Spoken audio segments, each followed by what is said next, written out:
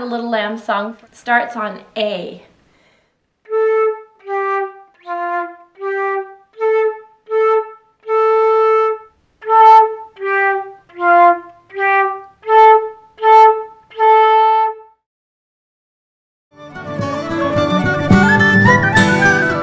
Well, hi, I'm Rebecca Fuller, the expert over at LearnFluteOnline.com. Feel free to hop on over to LearnFluteOnline.com and get yourself signed up for lots more video lessons.